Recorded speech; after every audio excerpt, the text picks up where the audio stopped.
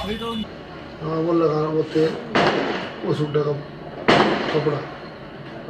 मिट्टी के तेल की शीशी ये लड़का खड़ा है मोटरसाइकिल वाला। ये बात कर रहा था देख रहा था ये।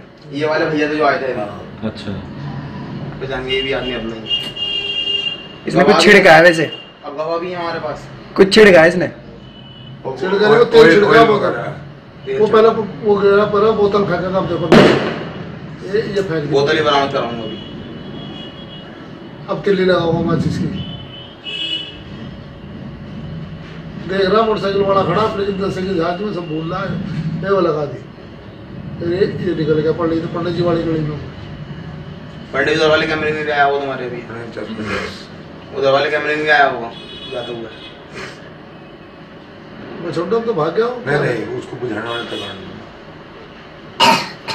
वो जो नमकीन वाले हैं वो आएँगे बुझाएँगे। वो लड़का खड़ा वहीं वो वाला। एक और आ करूँगी ये तो चला जा रहा देखो। ऐसे हर किसी की हिम्मत नहीं पड़ती है। सही बात है।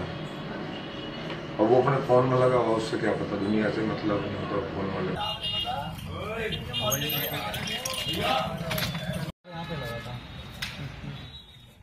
सफ़ाई फाई की माल बचा हुआ था फ़िलहाल इस जगह पेट्रोल छीट के आग लगाया गया था।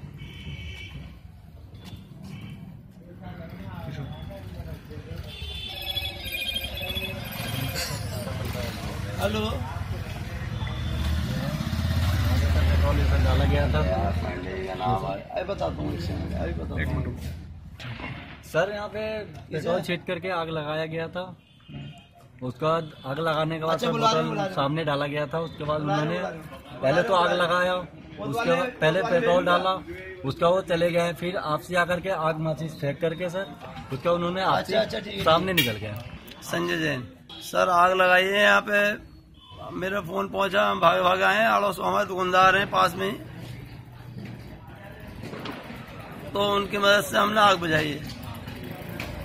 अब ये लगभग एक सवा एक सवा घंटा हो गया लगभग। मेरे फ़ोन पहुँचा सर। यहाँ पे हमारे पड़ोस में दुकानदार उनकी शॉप खुल रही थी। उसके बाद में सीसीटीवी कैमरे यहाँ पे हमारे सामने सीसीटीवी कैमरा है पांडे जी। तो उसमें सर फ़ोटो आई है उसकी। ये अरविंद अग्रवाल ये रामोतर अग्रवाल के छोटे भाई। ये सर हमारी मुकदमेबाजी चल रही है इनसे प्रॉपर्टी पे। ये सर एक उनका साहु मोहल्ले मकान है एक का कटरा नाई मकान। पुलिस में हमने कंप्लेंट कर दी पुलिस आ गई यहाँ पे। पेट्रोल की बोतल बरामद हुई।